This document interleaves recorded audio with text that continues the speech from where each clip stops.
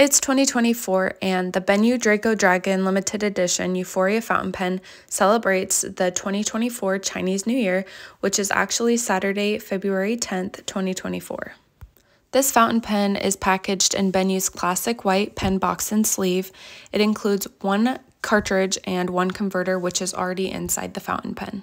This fountain pen has all this hand-painted dragon artwork, which showcases the Lunar New Year symbol of the dragon, which symbolizes power, nobility, honor, and luck.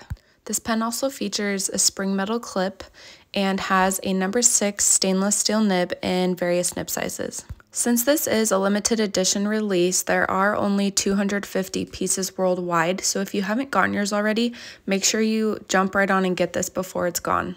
This pen can be posted, which is really nice. And then it does use that cartridge converter filling system. Here's the converter, and if you'd prefer to switch it out, you can use the cartridge that came in the pen box. The Benu Draco Dragon Euphoria fountain pen embraces Benu's traditionally playful style with all of its amazing color and artwork that are on this pen. Like I said before, this is a one-of-a-kind pen, and it is the perfect pen to celebrate the 2024 Chinese New Year. So make sure you run on over to penchalet.com to shop this pen before it's completely gone.